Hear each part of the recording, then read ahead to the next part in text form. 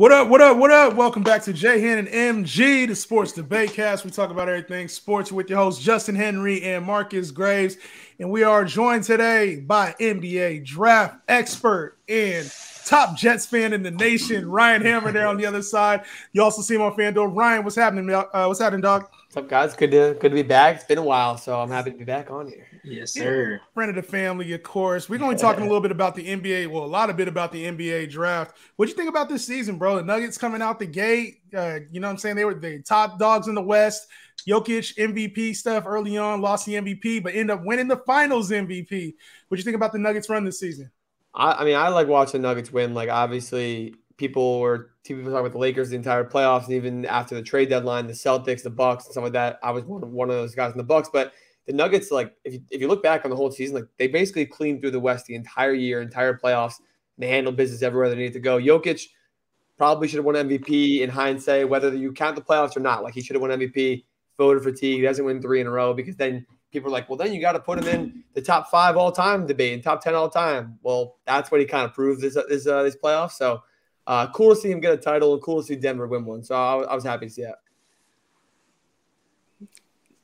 Yeah, we, we ain't talked in a minute, Marcus. It's been a minute since we've been out talking Denver, bro. Because I was yeah, on that LA training, yeah. and obviously my guys got smoked, man. What you think about Denver, bro?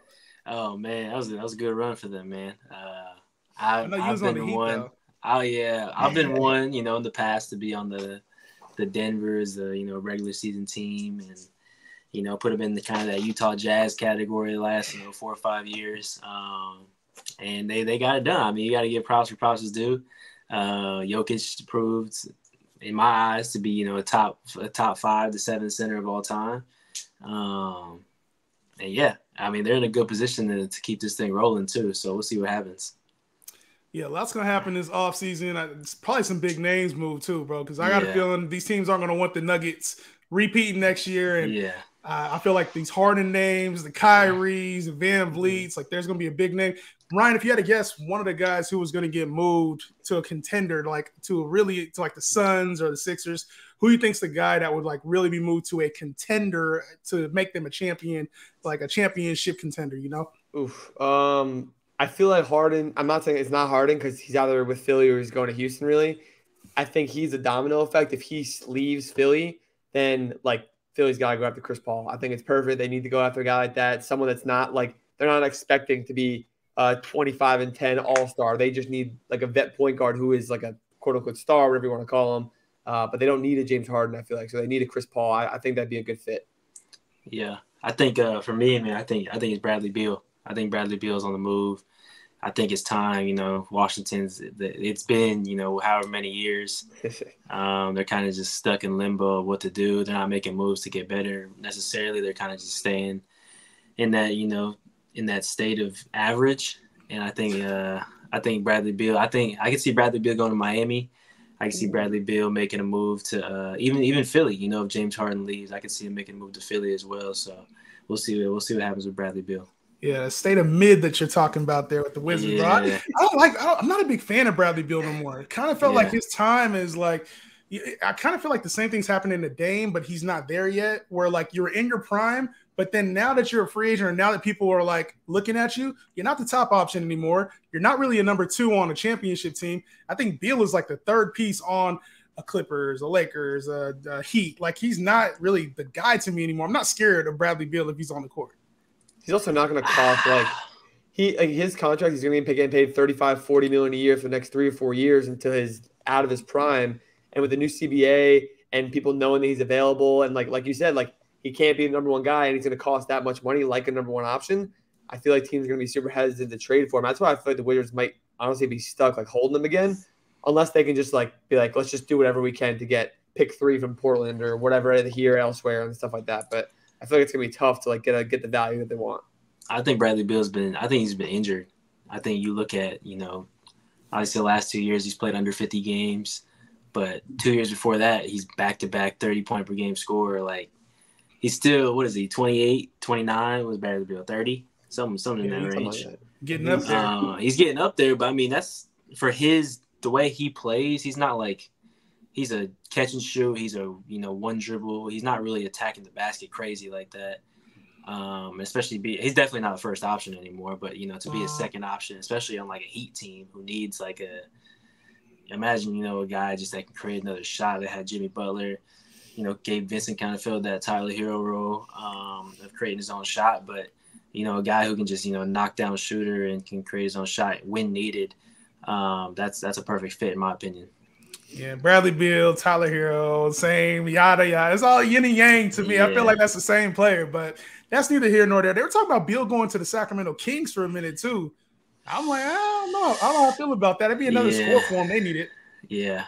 I mean, the King, the Kings are in a good position to make a move. Um, I think they do have the, the they have the cap, if it, if I'm not mistaken, to make a a max slot available, um, depending on what they do with Harrison Barnes, and you know, it could free up some some space with Richaun Holmes. Um, but I don't know if they're trying to, you know, push for a championship or if they're just kind of continue to build you know, for the future because they're they're in like a a holding spot. You know, I yeah. think they they I think they're a couple pieces away from being a contender. Um, but I wouldn't call them like a like I don't think they need to be in a rush is what I'm trying to say.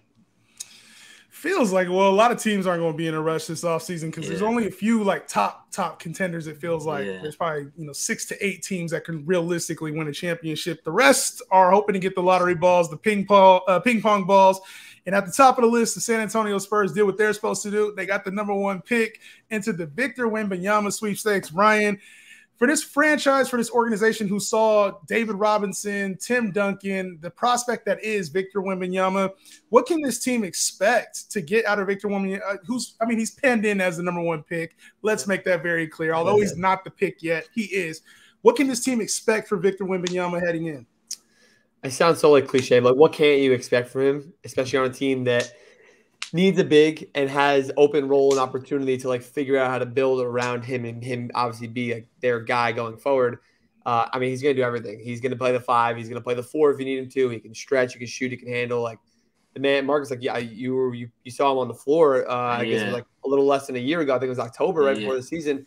He's not like not a human being. Does all these things. It's everything that everyone says is spot on. It's not overreacting. It's not like a cliche at this point. Like it sounds like it is, but it's just it is what it is. He really can do everything on the floor, and I think that helps the Spurs be flexible with how they move forward. If they want to bring in like a vet, like a Chris Paul or Fred VanVleet, and be like, hey, let's go try to make a playoff push the next couple years. We're not planning on winning a title, but we think we have a playoff caliber team with a vet leading us out of the backcourt. I don't see a reason not to do that. They're going to have 45, 50 million in cap space to go get that done, and they'll still have space after they sign something like that or they can go trade up for another playmaking guard in the draft, like Anthony Black, Cason Wallace, like guys that fit their timeline more, uh, and just keep building the young core because their team is good. Like their team has a lot of exciting pieces on it. Keldon, Devin Vassell, Jeremy Sochan. like whether they keep them all together or not, Malaki Branham, Tre Jones, like good on the list. Um, but it just like his versatility allows them to do whatever they want going forward, which is awesome. They can try to win in the next three years. They can try to win in four or five years. It's going to be great. So. Yeah, and I think for for the Spurs as well, you know, just speaking of the future, like, sorry, Victor Wembanyama is a guy who people are gonna want to play with. So you, know, you have those free agent guys. I'm just going down the class this year. You know, Harden's, the Chris Pauls, the you know Van Vleets. Like, San Antonio is now going to be an attractive, you know, attractive option to say I want to go team up with Wembanyama. Um, because I mean he's a once I've said it before. He's he's who we thought Kristaps Porzingis would be. he is the guy who we thought Kristaps would be, um, even even better than we thought Kristaps would be. So I think it'll be interesting to see what the Spurs do in the next couple years. The unicorn, the alien, whatever you want to call yeah. him. There's, there's a lot to love with this game, right? So everybody talks about he can play like a guard. He's big. He can shoot from the outside. He does things that we haven't seen on the court before, which is always amazing. But then you start to get to the cons, right? And I think this is where a lot of people have long-term concerns when it comes to Victor Wembanyama. Is there any legitimacy concerns when it comes to the weight? Like obviously the frame there, he's not. We've seen him against some of the Euro competition where they'll they'll kind of body him a little bit, but then also the injuries too, right? We've seen him kind of. He's already had some injury problems heading in, and we've seen that frame you know, not really last in the league seven, seven, three plus mm-hmm. under 250, under 275 pounds. Like that frame doesn't typically last. Ryan, how do you expect uh, those concerns to be? You think expect those concerns to be valid, or you think they're kind of you know a little embellished right now? No, I, I think they're they're kind of fished because like the injury concerns. You can look at a guy like Dariq Whitehead, who was a top recruit coming into Duke this year. he's had two the same foot surgery on, a, on an injury that you shouldn't have more than one surgery, and he's having issues. He might not even be ready for the start of next season. He hasn't been drafted yet. That's a real injury concern. It's, it's a clear injury history, has injury prone problems, and it's affected the style he that he plays at, his explosiveness and his athleticism. Victor has no injury history that's of any concern, like zero at all. So people kind of just saying that, like, oh, they're just like, oh, look at him. Like Chet got hurt last year playing in a in a, in a pro am game. Like he's Victor's going to get hurt too. Like that that is just not how it works. One, uh, but two, like if people never see this stuff, if you watch Victor warm up or train or stuff like that, he does a lot of like uh, plyometrics and like really strange, like acute exercises to make sure that these things aren't going to happen in game and look, obviously taking care of himself long term. Uh, I'd say more in, in a different way than people ever have. I'm not like a medical expert, but I understand the basis of that as like a former athlete. Like I know how these things work. I see what the exercises he's doing. Um, so I'm not worried about it at all. And also like he's 19 and he has shown a really good sign of toughness playing in the French league and playing in international games. Uh, and I'm, I'm not worried about bigger guys going after him, just like I wasn't with Giannis when Giannis got into the league. I wasn't saying Giannis is going to be what Giannis has come to be, obviously, like we are with Victor. Uh, but Giannis put on what 30, 40 pounds of muscle and just absolutely started dominating everybody. So then you take Giannis and stretch him out five inches and you say the same, and you're like, all right, fine, fair enough. Yeah. Yeah, it's weird. Yes. No, speaking of Victor, man, like when we played him, he comes out 20, I mean, he comes out like hour or whatever before the game, does a 20 minute, like you said, plyometric workout barefoot. And I was like, I can't, I was looking at him like, what the? barefoot bands, doing a bunch of like, it was crazy to me, like seeing that. So, like, definitely the injury prevention is, you know, he's on top of that. And another thing, you know, people's talking about the weight, like, you don't see who you got Jokic, Embiid, Sabonis. Those are probably the only three bigs that you're worried about as a back to the basket five man. Um, and then, but I mean, at, at the end of the day, like who's who's guarding those three? Like who else is guarding those three anyway? Like it's not gonna be just Victor. You know what I mean? So other than those three, I don't see another guy who like is gonna just back Victor down like we've seen. Like the French league and international basketball is way more physical, way more you know back to the basket centric, big man centric. So um, I think I don't think I don't see that as being a problem.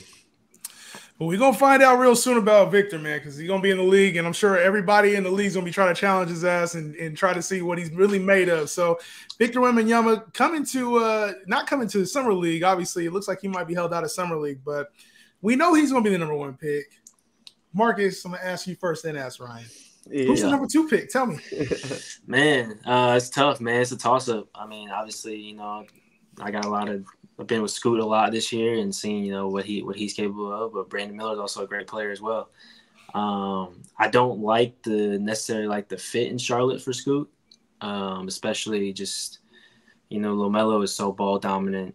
Obviously, still got Terry Rozier. Who knows what they'll do with him there? Uh, but at the same time, like it seems, and that, and that's what Charlotte needs is a wing, in my opinion. They need a, you know a wing scorer who can, you know, put the ball in the basket, defend, three and D type guy. Um, and Scoot is a guy who is going to need the ball in his hands a lot. And that is, and not that's not a bad thing, you know, talking about him. He's going to be a great player in this league. Um, and I think it'll be interesting to see. I also don't, like, in my opinion, I don't see Portland as a great fit as well, unless they trade Dame. So, you know, we've heard the talks of the Pelicans and this and that. I do see, unless Portland trades Dame, I do see somebody coming up and getting Scoot um, to be the point guard of the future. Who you got, Ryan? Obviously, you know, I, I got to listen a little bit to what Marcus says with a grain of salt. Between that, between Scoot and the Chargers, I'm like, ah, I don't know what to believe with you, bro. So no, I, I thought you you would think that it's, it'd be the opposite how we're going to talk because I I think it's a no brainer and they have to take Scoot. One, Char- like talk about the fit. So the fit, yeah, they won like 27 games last year. If you win 27 games, you have no right to draft for luxury and draft for fit and who you for need. Sure.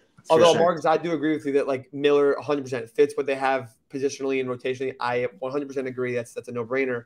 But winning 27 games, you can't. OKC has proven this where they don't need any more guards or smaller players, but they took Jalen Williams, who's six five last year, and it's working out. They took Giddy, who's six yeah. seven, but he's a guard, and it's working out. Uh, and I just don't think they're at the luxury to do that right now at all. Also, on top of that, you see a lot like for Scoot, you want him to be like the Pelicans is great. They don't really have a true point guard. CJ is more of a combo, a two guard. So that would be a great chance for him to really like run the show there at the point. Um, but in terms of the team, like every good team now, every championship team, every contender has two guys, two ball yeah. dominant guys that can do everything. Because not everybody's going to be able to run the ball, run the point for 48 minutes. So I do think LaMelo and Scoot makes sense because you can look into the future and be like, man, if we can just put the pieces around them together, like there's our backcourt, and we are going to hopefully contend for titles in three plus years. Um, but I also think, like I said, you can't draft for fit. So looking at them in just player aspects and prospect aspects, I think Miller's awesome. He could be a future All Star. I think he's a lot of like Paul George in him. Um, but I, as a pro, I'm not going to go into it too much, but I think Scoot is a far better prospect, and people are yeah. over overlooking that now that the draft is getting closer and closer because people weren't saying this three months ago. Everyone's like, great, Victor one, Scoot two, whoever's there, easy, and then yeah. Miller, and then everyone else, and we'll figure that out when we need to. Um, so I don't really know where that's gone because these guys haven't been playing games. Like private workouts don't tell me enough. I'm not in the building, obviously, um, but Scoot's the far better player in my opinion right now. So it's funny. Yeah. Smoke screens start coming out, but then it's also like I feel like these trade rumors too, right? You talk like you mentioned Marcus Dame being traded, or like the Pelicans with all the Zion stuff that's been coming in this offseason. They're talking about moving up to number two. It's like I feel like there's a lot of moving pieces with this draft, and somebody's gonna be very aggressive to go get the fit. If you felt like a team was gonna go get Scoot or Miller, which team do you think it's gonna be? Two, three, where where Miller goes to the to the Hornets, or you think yeah. that somebody's gonna come up and get scooted too? man, if I'm if I'm you know if Scoot's on the board at three, say Charlotte just goes Brandon Miller and Scoot's on the board at three. If I'm Orlando, I take a real look at Scoot. Um, I think you know they have the draft capital. They have two picks in the top twelve at twelve this year. Um, so that's you know going to be enticing to Portland.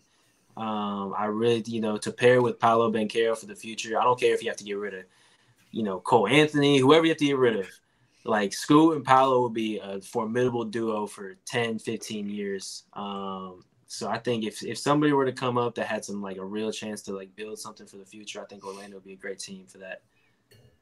Orlando, I like Orlando.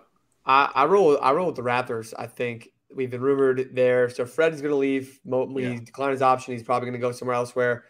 Between Siakam and OG, and the Blazers' interest in a win now player, especially a forward with Jerami Grant leaving, likely leaving in free agency. Also, like I think it's a no brainer. They're gonna they have to blow it up. They lost Nick Nurse. They are not close to a title. They could be maybe a playoff team if they keep a lot of their vets together, but there's no reason to. They're at 13. They're 10 spots back. If it, it's a draft night thing, obviously, because you need the Hornets to pass on him to for this to happen. Because I don't think the Hornets are trading out of two. Um, and I think do think they're going to take Scoot, but say he, he drops to three.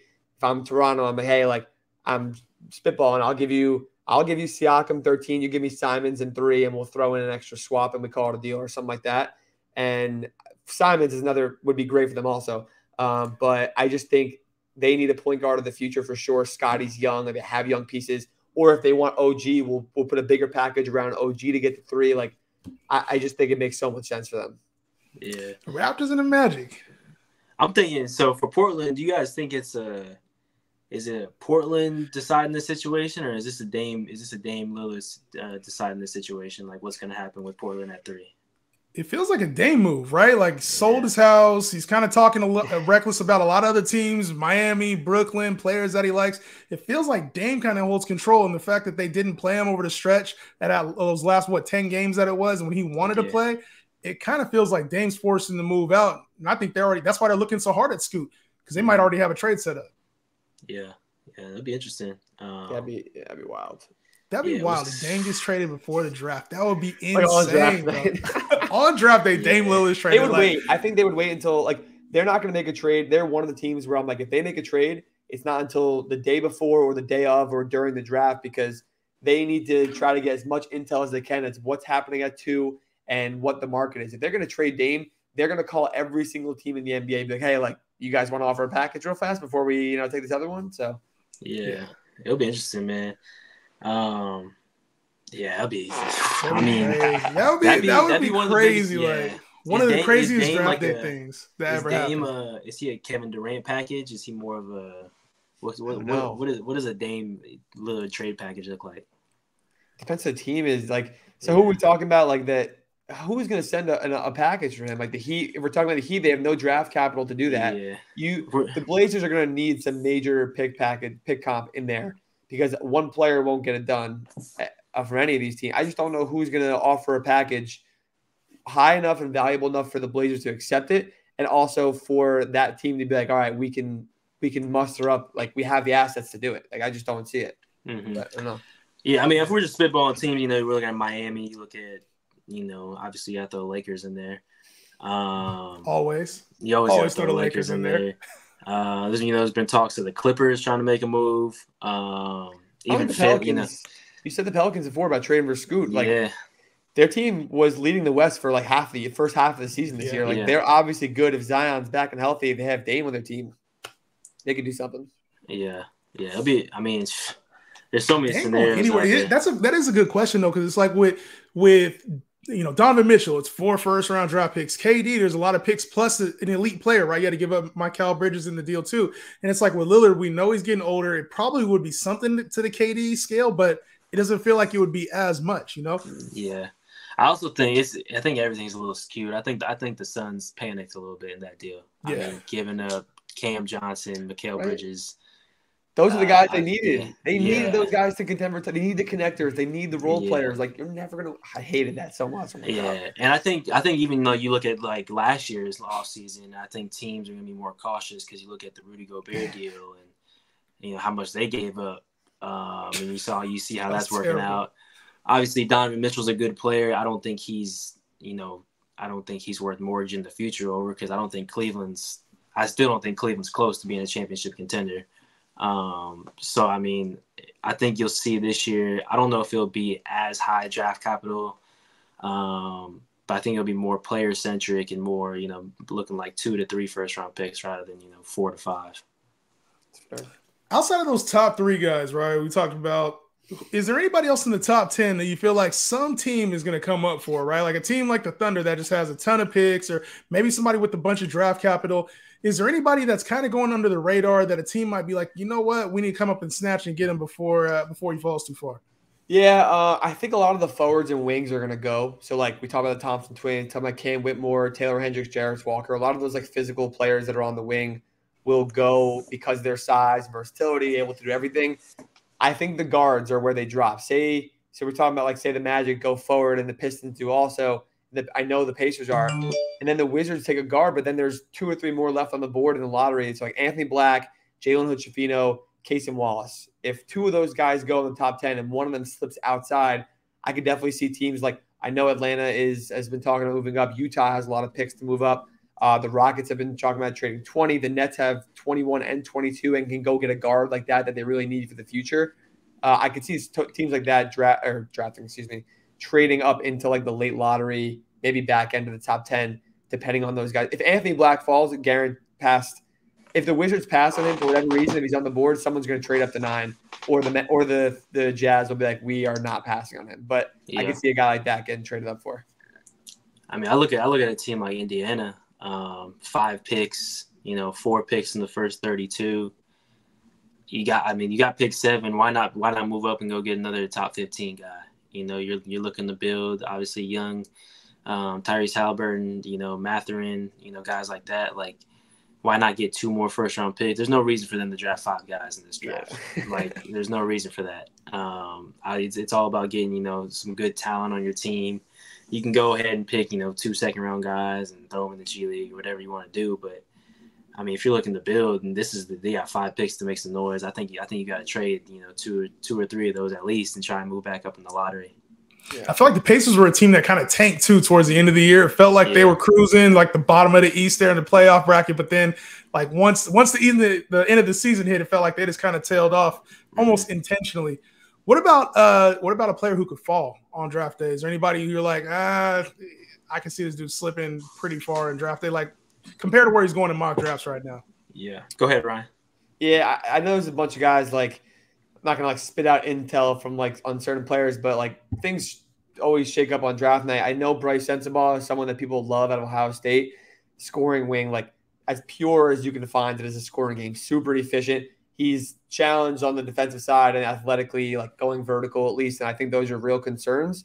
Uh, he didn't get a green room invite, which is the top 19 prospects voted on by teams. Doesn't mean he can't go in the lottery or top 19, but it means he's more than likely going to be on the back end of the top 20 plus. Uh, I think there's a chance he slides to like the back end of the first, maybe even right at the beginning of the second. Uh, but he's a guy that people have like lottery grades on that I think could definitely fall. And Dariq Whitehead because of those injuries. And I think like AJ Griffin last year slid out of the lottery, and like I was ready for that because of his injuries has had changed his game. And AJ Griffin's awesome. And I'm a Hawks fan. I love having AJ Griffin on the team, but he he was drafted in the spot he was meant to get drafted, and people were way too high on him last year. And I think White has the same kind of similar kind of guy where injuries have held him back athletically and physically, but he's a great shooter. He's young. He's got a lot of upside. He could get to that point if he kind of fully recovers from those things. But teams will see a lot of other wings and combo guards that can do just as much as he can or similar upside at least, and they'll they'll prioritize those guys like Max Lewis, like Brandin Podziemski, the guys who have played a few years in college and have proven themselves year over year. Uh, and he might slip towards like the back sim- similar range as Brice Sensabaugh on the back end of the first.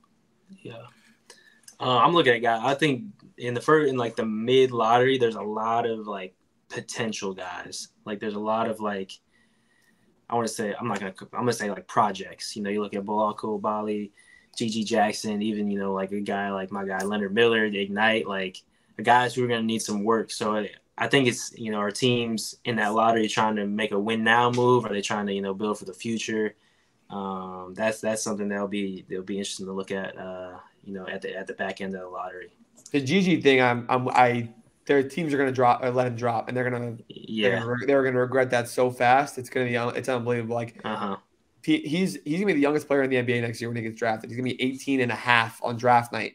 So he you should be going to senior. He should be going to senior prom tomorrow night, not yeah. like getting ready to get drafted in a week because um, of his reclass. But man, his his game is so pure. His creation at his size is so so natural and so it just creates so much upside for me and so much talent that in the right, like if the Heat were to swing on him at 18, uh, he'd be an all star in five years. It'd be, it'd be, yeah. it'd be great. But I think teams will let him slip, sadly. So yeah. Yo, Ryan, uh, I want to ask you this real quick, Ryan, before you get into that, Marcus. I want to ask you this because I've been going to these AAU tournaments, right? My son's 12, and I see all these guys now, and there with COVID, there was an additional year, right, of eligibility for some of these guys. So yep. you'll see in 12U, you'll see 13 year olds, obviously, but now even some 14 year olds in uh in the 12U, right? So they'll play a year or two up. Is that going to be the nature of how things are? Like, I don't know if anybody in this class was affected by that, but is that going to be how things are? We're starting to look at guys two, you know, a year or two removed from their original class.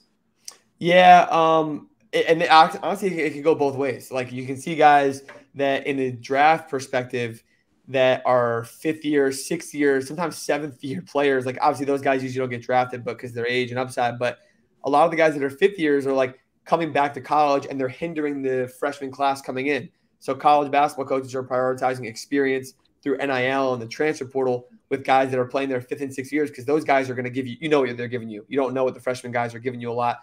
Um, so I think it affects those guys more than anything else. This freshman class that is they're going to be uh, they're like 19 years old. They just finished their one year one and done in college. Was exceptionally talented overall, like a top 20, 30 guys.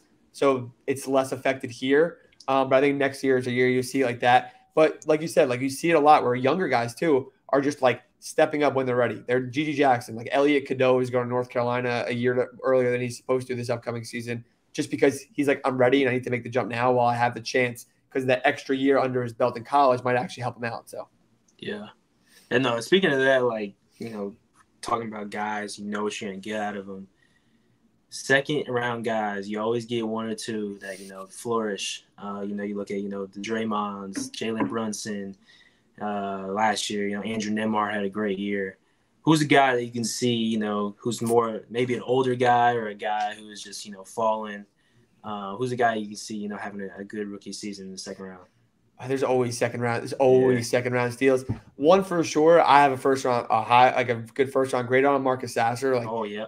yeah. I, I, there is just no way you can tell me that Marcus Sasser isn't in an NBA rotation, playing at least 10, 15 minutes a game in whatever months the next season starts. Like in October, he is such an elite defender. He's such an elite shooter. He's so quick. His step back is great. Like he just does so many simple things that a bunch of other guys do. His hustle stats playing at Houston, he is just gritty. He's down for everything. Uh, he's confident in his game too. So he's a guy I think is worth a top 20 to 25 pick for a contender. There's not a, a lot of contenders in the back end of the first like there normally is because of a lot of traded picks this year. Um, but if I'm like the Clippers are at 30, if he's in the board, take him up, call it a day. Uh, yeah. Jaime Hawkins is probably going to be in a similar range like that. But guy that's definitely going to go in the second, or not definitely, but Jordan Walsh also, where we're talking about role players. Like. I was saying this about Christian Braun last year. I literally posted a clip on Twitter yesterday of my old YouTube video from last year. It said like, oh, like he's people don't think he's that he doesn't have a lot of upside, but everything he does is going to be towards winning impact for a team and probably a championship contender, and he'll win a title in a few years. And then the kid wins a title. So I think Jordan Walsh offers a similar like high level elite role player upside, which is not no problem at all. He's going to be great. Yeah. So. No, I, I think that's I think the teams are they get too caught up in the upside. Like I mean, like you said, like that was the guy I was thinking of. Like Marcus Sasser is a first round pick. Nobody can tell me anything. Dude is a first round pick. He's elite. Um, I, I, know he had an injury last year, it kind of kept him out, but like this dude is no by far a first round pick. I don't care who you have, twenty through thirty. Like I think people get sometimes too caught up in the upside and like I mean, I get it. You know, you can sometimes you swing and you hit, hit a home run, but I mean, if like you said, if you're a team who's who's looking to contend, like he's he's a guy you want on your team for sure, in my opinion. And the further you go in the draft, the late first, early second, the less chance you have of getting all stars and those high upside guys panning out. Yeah. Um, so like it's like Jordan Walsh talking about Marcus Sasser, Andre Jackson, like a lot of guys like Olivier Maxence Prosper who do like a lot of the things beyond the stat sheet and the non-flashy things really well. And then you're like, oh wow, like that guy went pick 38. Like, why didn't we consider him at 20 and 25? Yeah. Because he's playing 20 minutes a game in year two. So yeah. Outside of Wemby, obviously Wemby being the international guy, is there any other international guys we should be like? Obviously, Jokic winning MVP, Finals MVP. We know the international game is ready. Like, is there anybody else that's coming in that we should be keeping our eyes on? not like MVP level, um, but Marcus mentioned before Bilal Coulibaly. He actually play, played with Victor this entire year at Mets 92 in France. He's been like a massive riser through the process. Now, uh, it definitely is a part that they've been playing. They're still playing Mets 92. So, like, they're playing this whole time. So, like, that is a is a is an advantage for him. No one else is playing except for them.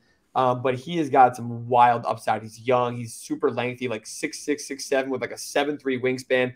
A lot of natural fluidity and athleticism. So he's one of those guys that like needs to be in the right system and needs to be like developed properly in the right organization. But if he is, uh, he could be someone that like is pretty scary down the road. Crazy about him is like no disrespect to him. I think he's a great player. I watched one of their games recently, but when we played him, he was terrible. No, yeah, terrible. Like no, seriously. And they're they like we're in the middle of the season. They're like, yeah, remember that guy from uh, Mets '92? Not Victor, the other guy. And I like was like, I don't, I don't know who you're talking about. and I show they showed me a video, and I was like, him? like I was like actually shocked. And oh, I mean, lost him, but he's no, he's right though. He like Bilal was he's playing at a miserable level. His statistical production of the year was like five points a game, some pretty poor shooting splits for most of the year, but it just progressively got better and better and better as the year went on. And as he does through workouts and things like that, you can see the the fluidity and athleticism and the tools is so important with a guy like that. Um, so he could go as high as like honestly like nine to twelve, but he'll probably be in the back end of the lottery. But Marcus, we you're right. Like he is production Bro, terrible. Yeah, so a lot of really bad splits. You're good. No. Yeah. No, but I, I, was I watched the game like two weeks ago, and he is like a legit hoop. Like he's one of their best players. And I was great. like, I was genuinely shocked, honestly. Has he just not been playing? Like, is he a newer I, player? He was playing for 16s yeah. for a while, like on, on the end, or under 18, sorry, for a long, long time, uh, yeah. uh, for most of the year, and then he kind of just like slowly eased into it. Yeah. So Sidy Cissoko, who's on G League Ignite, um, from France, he was like him and Coulibaly are really good friends. He was saying like they kind of just brought him when when they played us because they just wanted to get some experience. Mm-hmm. Um, and like the feeling I got from Sidy was that like he didn't even like he was expected to go to next year's draft, yeah, 2024. And then the way he just took the jump this year, like, has just vaulted him into like a he's gonna be he's gonna be a lottery pick. Yeah. And like I gotta I gotta get props. Like the kid's been balling, man. Like I watched one of their games and I was genuinely like surprised how, how well he's been playing. Putting in good. the work, man. Yeah. He'll be, one, he'll be that guy on draft night where like I'm from New Jersey and like New York area. So when Frank Ntilikina got drafted, people were like, "Who in the world is this guy?" Even Kristaps, like casual fans were like, "Who, who did we just take?" People, if I'm looking at teams like the Pelicans or like the Mavs, like the Mavs won't do it. But like if they're like Bilal Coulibaly at pick number ten, Mavs fans are gonna be like, who is this kid? Like, what yeah. are we doing here? They won't take him, but it's it's he's that kind of player. But he could be really really good. Like he's got some wicked tools. So yeah. Uh, any more draft thoughts before we uh? Because I we got we got to talk some football too, y'all. Man, No, no, no. I'm good on the drafts. Okay, I can do this do this for hours for days. So of course, that's yeah. what you do. So June 22nd, NBA draft. Appreciate Ryan throwing his expertise on that. Marcus, his expertise on it. But I'm gonna put my football expertise on this next segment. We gotta talk Jets, bro. Aaron Rodgers on the Jets now. Uh, it's a new a new day for our Jets fan, Ryan Hammer over there, bruh. How you feeling about the Jets? It's raps. It's raps. Man, nah, I'm, I'm, ex- I'm just excited. I was telling you before the show, like, yeah, I love the offseason and the hype we have. And I almost don't want the season to start because I don't want any chance of this. There's no, like, the only successful season is if we're like in the conference championship. We're not successful, like, yeah. in terms of, I'm like, holy crap, like, I did not expect this, like, surprising in a good way. Um, I'm just worried that, like, something he gets hurt or Aaron Rodgers gets hurt or something bad happens where we just aren't as good as we're supposed to be. But man, the team is so good. There's so many young pieces. The defense is so good that like we have a really high floor because we had no quarterback play last year and we were still a seven, eight win team. Um, so I'm really, really excited. We have a lot of like I can't think of a true weak spot in our team right now as long as Mekhi Becton is actually fit to play. So I feel like, you know, I like the Jets, man. The Jets are one of those teams where I, I kind of liked them more before A Raj joined. And I feel like now the bar is set so high it's like if, if you guys don't win a Super Bowl, it's almost like a lost season, right? In the next three years. So I know for Jets fans, it's like you just want to have a consistent quarterback, some consistency at the position. Yeah. But to me, I'm not all excited about it, man. But seeing Sauce, uh, excited about it. Garrett Wilson, you know, in fantasy, Garrett Wilson's a guy I'm targeting now because I feel like sky you, is the limit for that kid. Are you not worried like about the Randall Cobb, Allen Lazard, Corey Davis, Michael Carter, Breece Hall? Are you not worried at all? Like I'm I, I love Garrett Wilson. He's going to have a great year no matter what because he is our dude and he's going to be on the field getting his number one reps. And then everyone else will file in behind him, I guess. But like Rodgers likes his guys. And I feel like, are you are you worried at all about that? No, so I'm not worried. I'm worried about a yardage wise, right? Like okay. I don't think I don't think Garrett Wilson's going to be this 1500 yard, 1800 yard wide receiver, the wide receiver one in fantasy. But what I do think is I think he's going to have like 15 touchdowns because once Rodgers locks yeah. in on his touchdown, his red zone guy, that's where that's where you find a win. So if that is his guy, because Lazard's not his touchdown guy, Randall Cobb's not his touchdown guy, Mecole Hardman's not going to be his touchdown guy, and the Jets don't really have that good at tight ends. You go, Garrett Wilson's the red zone threat now. So where I look at his value is most mostly tied to touchdowns at the back end of like the top 10 wide receivers. So, but I am the one player I, am kind of concerned about is Breece Hall. Yeah. Breece, I'm concerned about because every, you know, the ACL obviously came back from that, but it, it feels like it's a year too early. Yeah, I, like the health stuff, I'm more like eh, we don't know what we don't know. Like if he's good, he's good. If he's not, he's not. But like he was splitting with Carter a bunch last year, but he was getting his like he was getting his before he got injured, obviously. But like with our passing game going to be much more developed and much more extensive this year with more receivers, more options, and obviously a new quarterback. Um, it I'm concerned a little bit fantasy wise. I think it's better for Breece as like a player and especially his health because uh, he'll be eased into things and he won't be relied on as much. Because last year when he was when he was in that like four game heater, it was like we, we just got to feed Breece, otherwise we are going to lose this game or we're going to lose this game. Yeah. Uh, so he's really talented. He's awesome. I think lower the usage, higher the efficiency, and you'll be less worried about his health and stuff like that. So I think it'll be better for him. But I do agree with you in fantasy. He's probably going like third roundish right now, is my guess, right? Where I'm like, yeah, he's on third like round. Him, ETN, like Vermont, like Rhamondre. It's like a big pool of those guys. It's almost a dead zone. That's where the dead zone starts, I guess, right? Where you're like, what right. do I do? So, Tony Pollard, like Tony Pollard esque, like the, the question marks after like Nick Chubb, Derrick Henry, B. Right. What do you do? Yeah. Yeah. So it's tough because especially with a guy like Breece, I, I, I like the talent, and you know he has that like Saquon level type of ceiling, right. but just not this season. So I think in in yeah. Dynasty, like if you ever played Dynasty leagues or anybody watching oh, playing Dynasty, yeah. like that's a player you could target for the low, especially if he has a couple down weeks earlier on in the season. Who's your guy? Like who's outside of Jets players? Who's your guy fantasy wise? Like, you have anybody that you're like, oh, I feel like their situation's a lot better than people think it is? Um, I think there's a lot. Of, you can go down a whole list. Like, I feel like it's usually a lot of those receivers from like the not in receiver rank, but in general rank from like the 50 to like 100 range. It's a wide range, right? Um, but I think that's a decent decent range to like target guys. I think Elijah Moore is actually like no Jets buys oh at all. Oh my god, here we go again. I no no no no no because I think the Brown stack is actually not a bad stack at all this year, especially like best ball formats and stuff like that. And now that Deshaun's had time to settle in, I actually think Deshaun is going to take like a huge step toward back toward what he used to be before he uh last couple of years, I guess. But yeah. I think Elijah could be Elijah and Amari Cooper also, to be completely honest, because Amari could be like we've seen what Amari Cooper can do. We know how talented he is. Like he could go absolutely crazy. But I think there's a lot of benefit for Elijah also because they don't have a ton of options still, even though they still have a lot of their guys that they kept year over year. Um, but I think Cooper could go absolutely crazy this year.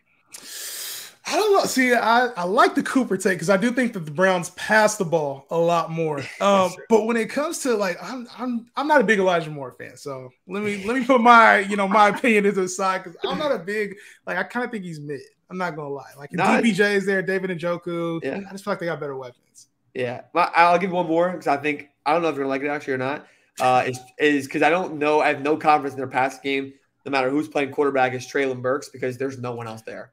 There's yeah. especially in dynasty formats. Like I've been trying to trade for him in my dynasty league forever, and like I've been trying to trade Deebo to go get him, and the guy's like, nope. And I'm like, I don't know what you want me to do at this point. So, um, but Burks, I think like he, we know how talented he is. He, he's had a couple of good games last year, but in and out of injury. Um, but like someone that every NFL team has to pass the ball. They have to have someone that's a good receiver, like relative in some kind of relative level. Um, so I think Treylon Burks could do well. I like Burks a lot. So, and I think that the opportunity is there, especially if Tannehill's a starter. I think everybody's expecting Will Levis or Malik Willis. Obviously, is not a thing anymore. but like Will Levis isn't going to go make Treylon Burks a superstar this year. Right. But Tannehill could. We saw what he did with AJ Brown earlier on before he went to the Eagles, and mm-hmm. I think there's a, a, viable spot for him to be a wide receiver three in that offense. So I like Burks a lot, man. I feel like the kid's good. And so I got more sleepers coming up. Hold on. We might got Marcus back. He said he was doing some technical difficulties there with Marcus. yeah, yeah, and now yeah. he's back. Jeez. yeah. Wow, bro. Now he's back. A little intermission for Marcus there. Man, I don't know what's going on. Freaking my whole power like flickered out for a second. Oh, shit. Oh, yeah. We were talking so. Jets for a little bit, and then we are going over like fantasy football's superstars. And he said Elijah Moore is going to be his first round pick. Ah, uh, I just say he's decent guy, dude. He, he's probably going what, like 13th, 12th round. Not maybe that, yeah. that late, but like he's close to. I just think the Browns have like more, a lot more to like this year. So, who'd you sleep for, Marcus? You gotta drop it, drop it now before before all the names start coming out. Fantasy. Oh man, you know actually, I don't and know. you can't say Quentin Johnston. Yeah, I love, Quentin, jo- I love Quentin Johnston. Oh it's another rookie though. I don't know if it's a sleeper necessarily, but I love Jordan Addison. Um, I think Jordan Addison. I think he's obviously we've seen the Adam Thielen have big years next to Justin Jefferson and uh, oh, I mean, and Stefon Diggs in the past, but you know, Kirk Kirk loves that second that second receiver as well. Um, so I see I see Jordan Addison having having a pretty solid year. I don't know if that's necessarily a sleeper, but we'll see. I got a little sleeper. He's not really a sleeper because he's been great in the past. He hasn't been great recently, and he's been injured recently. My guy Odell.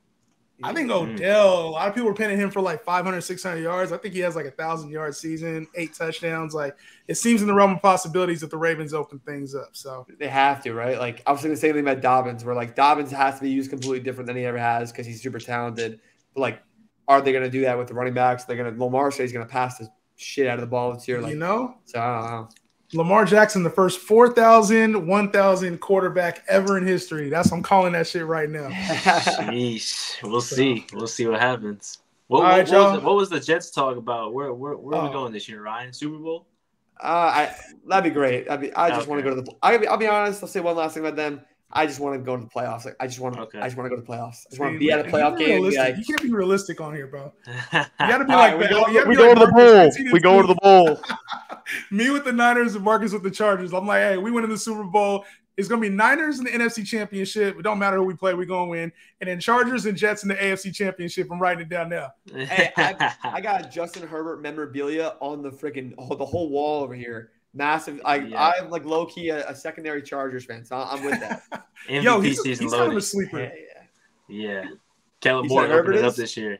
Yeah, I, think Herbert's. I think Herbert, a guy we had sure. in the top three like sure. last year, he's going what eight, ninth, tenth quarterback off the board now. That's crazy to me. Yeah, yeah. I, I gotta ask you guys one question, actually, a fantasy question, because my keeper league, we do like a you can keep guys based on where you drafted them last year. So I'll give you three options. You got to choose two all of them would be like eighth round keepers. In regular 12 one quarterback 12 team you get justin fields calvin ridley and dameon pierce. They're all going like the same adp right now. And i'm like don't damn like don't ask justin this question. Don't ask me. I feel, oh you hate wait i forgot you hate you, you were dameon pierce like you hate he's a dameon right? pierce, pierce hater, Yeah. you're really you're really in fields. Um i like fields and i like pierce. Yeah Just like yeah. not Pierce. Yeah, Pierce won't be the starter next year. He might not be the starter the entire season this year. Oh what my god, what? Devin Singletary there. What you talking stop, about? Brand new, brand new offense. I'm I'm going to TikTok right now. I'm unloading on fantasy TikTok. I'm doing it right now. Please. Hey, I'm telling it. you, like Dameon Pierce, he's good, but he's not like a long term back. He just had he don't have draft capital. He don't really have the talent like hand wise, blocking wise. He just He's a hard. That's why they got Singletary. He's gonna hit in the backfield every every single time he touches the ball. Every single time he touches the ball, hit in the backfield, and he has to make something on nothing. I mean, he can drag a guy an extra half yard. I, I like that. Yeah, I like that. All right, so I'm keeping Fields and Ridley. Uh, who knows? We'll see. Well, Ridley, I got question marks about Ridley too, but I think Ridley, at least at receiver, he's a young, he's still a young guy tied to Trevor Lawrence there.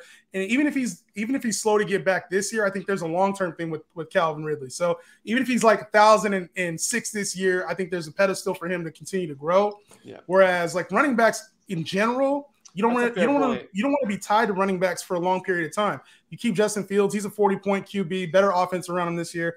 I would go Fields and Ridley, and it's not just because of the hate for. No, that was that was fair. That was fair because if I keep him as an eighth rounder this year, he'll be a seventh next year and six and so on. So like that's actually you know what? There we go. We didn't get just like Dameon Pierce can't run the ball. We get we had we had the Dameon Pierce. The name came out. The whole trajectory of the I conversation changed. I forgot, dude. I was like, wait a minute. I remember this on TikTok. I'm not doing this. Oh, yeah, and it's oh. not hate. Like I think people get that so confused. It's not really hate for Dameon Pierce. It's just like he don't really add value fantasy wise. He's a hard like unless he gets 20 carries and every red zone touch from a team that doesn't score a lot of touchdowns, he's not really good a, a true fantasy value in my opinion. Whereas Calvin Ridley's t- tied to a good offense. Uh, Justin Fields has the rushing floor. He's going to be the highest, probably 1,200 yard rusher again this year. Like, I just feel like Dameon Pierce. Most, if you have a running back in a PPR league, you want a guy that catches the rock or can score yeah. touchdowns. And Dameon Pierce is going to struggle to do both. It's fair. It's fair. You know what I'm saying? Yeah, it ain't just hate based. All right. Ain't just hate based. Yo, anything, any parting thoughts before we get off, fellas? All good, brother. Sorry right, about the Wi-Fi. As always, dog. I appreciate you guys having me on as always. yes, it's always, always good times. Yeah, we're gonna do more fantasy talk, man. We always get you on here just for the NBA. It's like fuck that. We gotta get you on here for everything, bro. So, we gotta get you on here in two weeks. We gotta talk draft recap. I'm, yeah. I'm, I'm here. I'm here. Show. Yeah. As I just say, no more draft. You coming back for the draft talk afterwards? Yeah, facts. Yeah, me and Marcus, we have to skip out on summer league this year. Now that Victor's not playing, I'm not going. I, I, refuse to go. Oh my god. Oh, you saw it's not fair though. You were on the floor with him already, so you're like, oh, it's cool. I'll just go. Whatever. Yeah. Like, I need to see this man in. He, he might be there though. You never know. Yeah. Yo, I was gonna I was gonna go to uh, California Classic. The Spurs were trying to, you know, they were supposed to play there, and he's not gonna play. The ticket sales, the tickets were like two hundred dollars each yeah. for summer, league, league, bro. Oh Lower level summer league, two hundred dollars. You'll see, you'll see uh Scoot or Brandon Miller there. Yeah, there you go. Charlotte's going only, too, right? Yeah, I'd only I'd only go for Scoot. I wouldn't go for no Brandon Miller, bro. Yeah, we'll see what happens, man. I go for Scoot though. Dameon yeah. Pierce, Brandon Miller, got it on the list. you know, I don't I don't know nothing about Brandon Miller. So he, he might be my favorite player in two years. All right, for myself, for Ryan Hammer, Marcus Graves. that does it for this episode of J Hand and MG. Be sure you guys like, subscribe, share, and we'll see you on the next one. Peace out. Yes, sir.